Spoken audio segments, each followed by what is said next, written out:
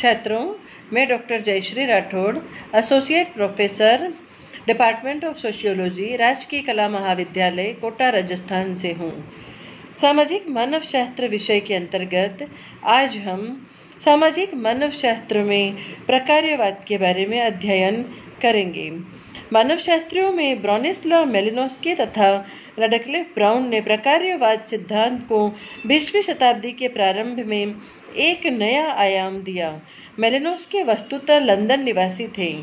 उन्होंने ट्रॉबियन टापू के आदिवासियों में क्षेत्रीय कार्य किया था। अपने समय के वे एक प्रतिष्ठित मानवशास्त्री थे। जब हमारे देश में ब्रिटिश उपनिवेशवाद था, तब ब्रिटिश प्रशासनिक सेवा के अधिकारी हमारे यहाँ भेजे जाते थे। उन्हें प्रशिक्षण देने में मेलिनोस्की अग्रणी थे। यह मेलिनोस्की के प्रशिक्षण का परिणाम था कि हमारे यहाँ रिजले, रसेल ओमेले आदि ने प्रशासनिक कार्य करने के अतिरिक्त मानवशास्त्रीय अनुसंधान भी किए। स्वतंत्रता प्राप्ति के बाद मेलिनोस्की जैसे गुरु का प्रभाव भारतीय मानवशास्त्र पर पड़ा। उपनिवेशवादी भारत में आदिवासियों के अध्ययन के परिणाम स्वरूप मेलिनोस्की ने प्रकार्यवादी परंपरा को नए सिरे से प्रस्तुत किया। रेडक्लिफ ब्राउन अमेरिका के मानवशास्त्री थे। उन्होंने भी अफ्रीका के आदिवासियों के गहन अध्ययन के परिणाम स्वरूप मानवशास्त्रीय परंपरा को आगे बढ़ाया।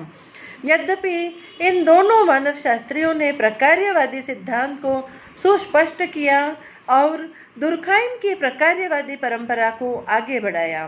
किंतु इन दोनों में बौद्धिक समानता के होते हुए भी इनका प्रकार्यात्मक सिद्धांत अपने संदर्श में एक दूसरे से भिन्न है। भिन्नता के होते हुए भी दोनों ने जो कुछ अपने सिद्धांत में रखा है वह आदिम समाजों के अध्ययन के परिणाम स्वरूप है। छात्रों, अब हम मानव शास्त्री रेडकले ब्राउन के प्रकार्यवाद के बारे में अध्ययन करेंगे।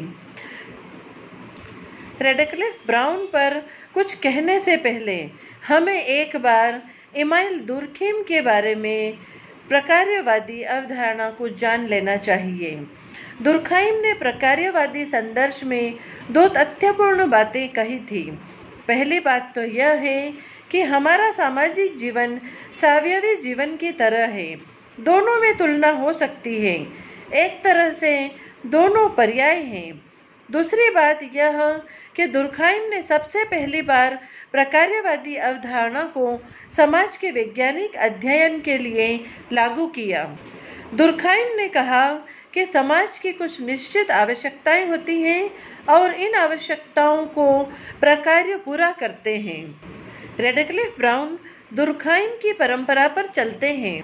रेडक्लिफ ब्राउन ने दुर्खाइम की सैद्धांतिक रूपरेखा को स्वीकार तो किया, परंतु उसमें एक बुनियादी अंतर कर दिया, जिसे दुर्खाइम समाज की आवश्यकताएँ कहते हैं। रेडक्लिफ ब्राउन उन्हें जीवित रहने की आवश्यक दशा मानते हैं और समाज के अस्तित्व की आवश्यक दशाओं का मूल्यांकन अनुभविक अध्ययन द्वारा किया जा सकता है, जबकि रेडकले ब्राउन का कहना है कि समाज के अस्तित्व के लिए सामान्य दशाओं का पता लगाना बहुत कठिन कार्य है।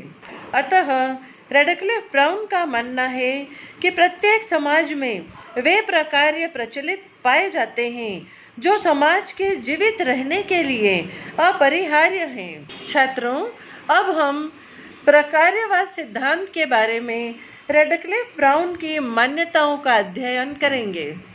रेडक्लिफ ब्राउन की पहली मान्यता है कि समाज को अपना अस्तित्व बनाए रखने की या जीवित रहने की एक आवश्यक दशा। यह है कि समाज के विभिन्न भागों में एकीकरण होना चाहिए। रेडक्लिफ ब्राउन की दूसरी मान्यता है कि उन प्रक्रियाओं को जो समाज के इस अनिवार्य एकीकरण या सुदृढ़ता को बनाए रखें वे प्रकार्य हैं। रेडक्लिफ ब्राउन की तीसरी मान्यता है कि प्रत्येक समाज में ऐसे संरचनात्मक तत्वों की पहचान हो सकती है, जो आवश्यक सुदृढ़ता को बनाए रखती है। तात्विक रूप से रेडक्लिफ ब्राउन का प्रकार्यात्मक उपागम किसी भी तरह से दुर्खाइम से भिन्न नहीं है।